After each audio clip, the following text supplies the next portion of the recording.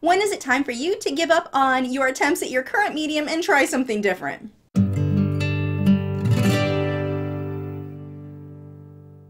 Hi, I'm Lisa, the artist behind Lachri Fine Art. Crowstar writes, I understand that you can't draw something once, decide it isn't very good, and think that you just suck at drawing at that one thing. You have to practice. My question is, how long or hard do you have to work at one thing or medium before you realize it isn't for you? How can you tell the difference between when you just need to work harder at mastering something and when it just isn't working?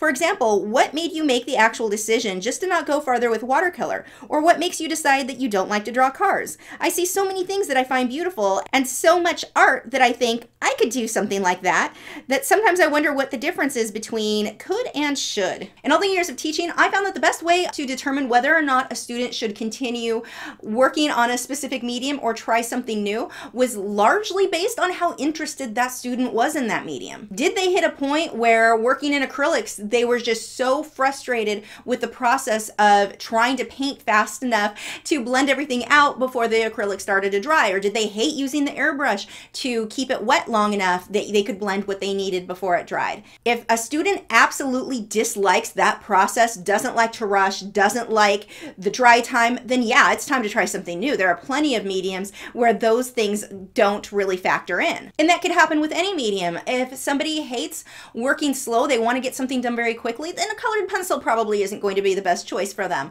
Somebody who hates the dry time of oil or doesn't like the scent of oil, then we there are plenty of other options. So those are the factors for me that made me suggest to a student, okay, let's try this instead. Maybe this would be a better fit for you. But as far as a student just not progressing as fast as they expected to with one medium, that's usually not something that I would consider a reason to switch mediums. I mean, acrylic painting, for example. I've had people contact me saying that they've been painting for two months and they think they're just not good at it, so they think it's time to switch and try something else. And I'm thinking, two months?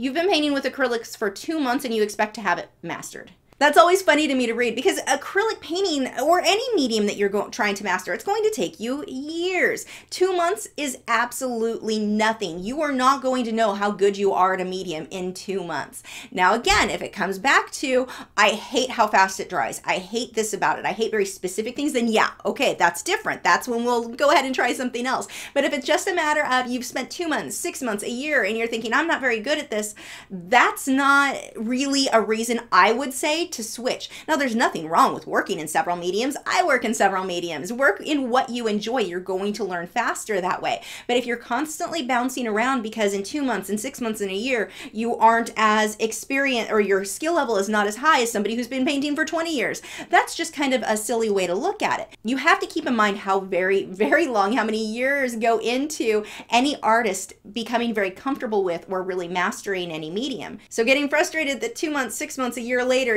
you're not as good as someone who's been painting for 20 years, switching mediums probably not going to be the answer you're looking for because you're going to run into the same problem again where you're once again having to start over and learn how to use that medium. Now for the question about watercolor and why I decided to not go further with it, it never really interested me that much. The watercolor artwork that I was seeing at art galleries and art shows that I was attending I didn't look at those and think, oh my gosh, that is what I want my art to look like. Now, this was before the days of the internet where I've now since seen watercolor work that I think is phenomenal and would love my work to look like.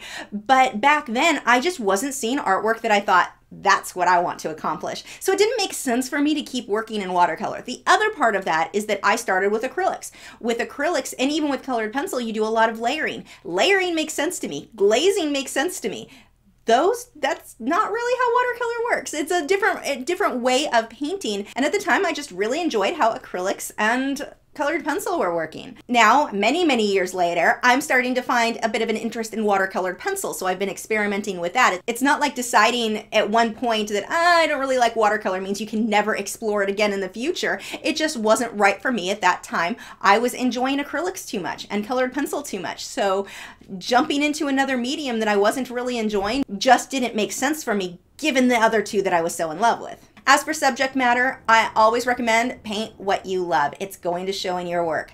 I'm not a huge fan of cars. They just don't interest me. They get me from point A to point B, and that is the extent of my interest. When learning to paint, you're going to learn much faster if it's something that you're interested in. I mean, give a 14 year old boy a bouquet of roses that he needs to paint or draw and see how excited he is to start with. It's not that he won't eventually enjoy painting flowers, it's that most 14 year old boys are not that interested in still lifes and flowers. There are exceptions to that, I know, but the point is giving a student something that they were interested in versus something that I wanted them to paint or draw. I definitely saw a big difference in how fast those students progressed. So when I was teaching, I would let students bring in what they were interested in, in painting or drawing. I would actually have them bring several drawings for me to choose from because quite often one thing that they're interested in maybe wouldn't be the best choice for them at that their skill level and where they were at at that time. But if it was something that they were interested in, they were more likely to finish the project, they were more likely to be excited about the project, and they tended to learn a lot more, a lot faster than in painting something that I chose for them instead. I have a frequently asked questions page over on my website. If you cannot find the answer to your question, I have a section where you can submit a question to be featured in one of these videos.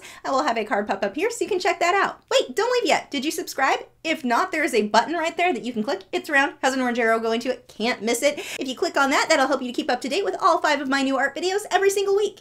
I'll see you guys on Saturday.